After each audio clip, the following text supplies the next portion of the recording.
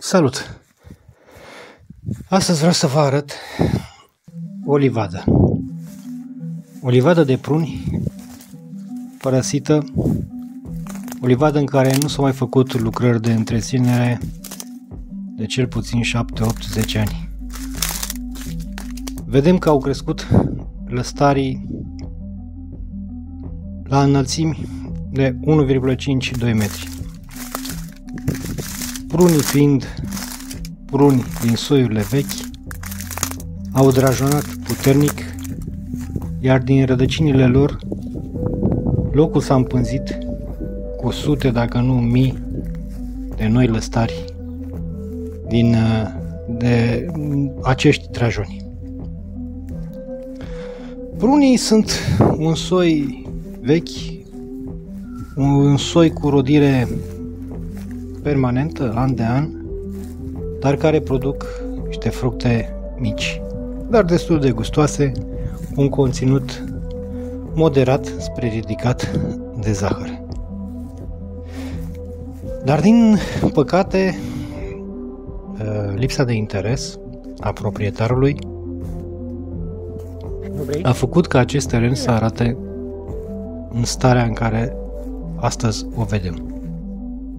Este trist să vedem că o livadă este părăsită și nu este întreținută și nici nu este valorizată la potențialul pe care îl are.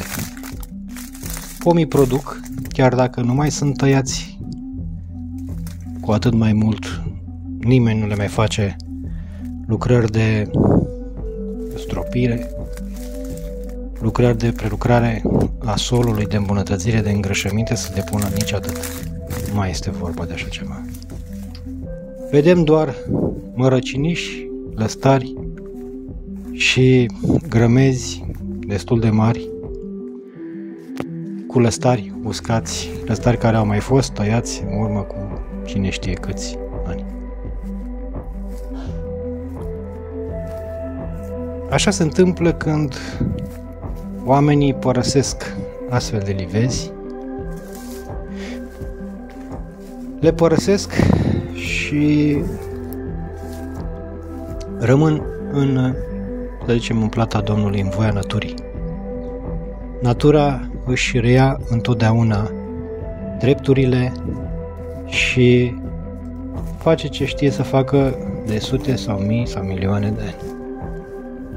Să perpetueze viața să perpetueze speciile care domină în zonele respective. Dar aceste livezi părăsite au un potențial fantastic.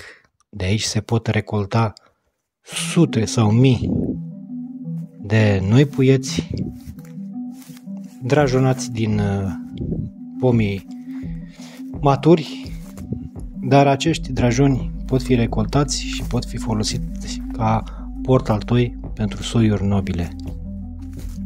Nu în ultimul rând, lemnul, uh, care rezultă din defrișarea prunilor bătrâni, poate fi valorizat în gospodărie.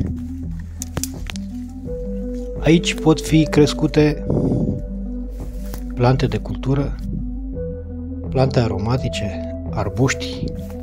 Destinațiile unui astfel de teren pot fi multiple.